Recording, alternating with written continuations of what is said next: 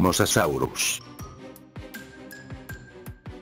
El Mosasaurus fue un enorme mosasáurido que habitó las aguas del mundo, hace aproximadamente 70,6 y 65,5 millones de años, en el Cretácico superior, gracias a su aspecto y a su comportamiento este dinosaurio fue considerado un superdepredador de su hábitat, siendo el ser más temible y peligroso que haya habitado el planeta.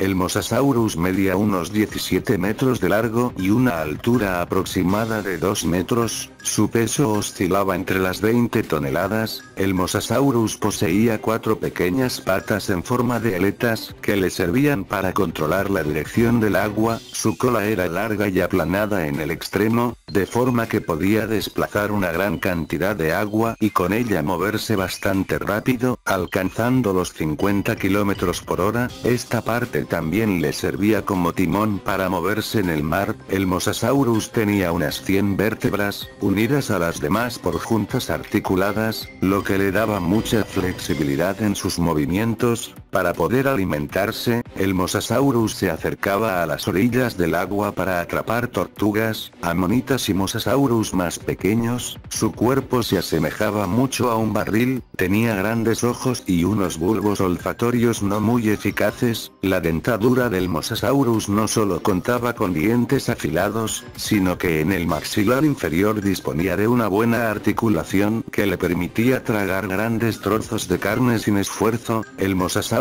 poseía un mordisco de 1029 kilos, lo cual lo volvía un verdadero superpredador de las profundidades, pero siendo un reptil, este tenía que quedarse cerca de la superficie, porque eventualmente tendría que salir a tomar oxígeno.